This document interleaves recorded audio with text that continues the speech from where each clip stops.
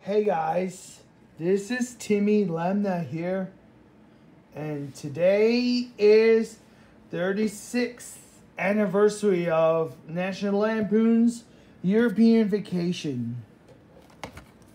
We'll talk about it a little different. Yeah, that's right.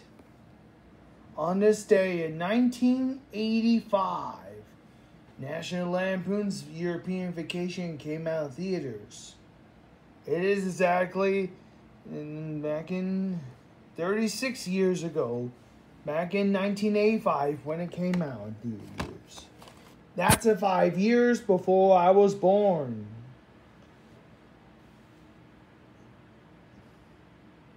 Wow. Anyways, okay. Okay. Anyway, sorry about that, guys. Here's the front. This is by Nick Carrot International Lampoon's Your Vacation Vacation. It's got, I know Brandon's movie corner has this on DVD with a snapper case. Mine does not. Mine isn't it? Wait, wait, a silly, funny sequel standing by. Let me have to focus. Richard Freedman News Newhouse newspapers. This is sequel to National Lampoon Vacation. Focus iPad. Oh. Oh. Good job focusing. I guess this is just the moment of the truth. Focus iPad. Good job focusing. The 1985 Chevy Chaser will return to McClark. Clark Griswold and Ellen Griswold are returned and winner of the, the European tour.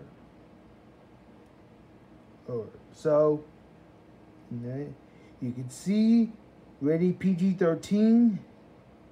National Lampoon's European Vacation is rated PG-13. So, presented in matted format, not letterbox, not scope. The running time is 94 minutes. Dolby Digital English Mono.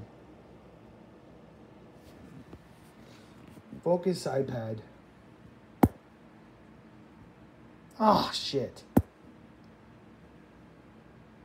There goes. I'm sorry when to just swear words, and just words.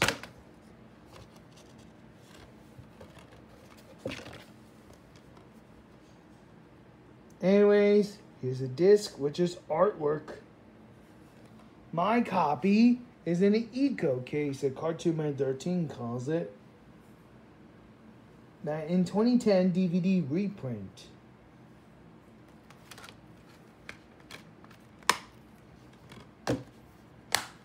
And that's it for my um, National Lampoon's Vacation.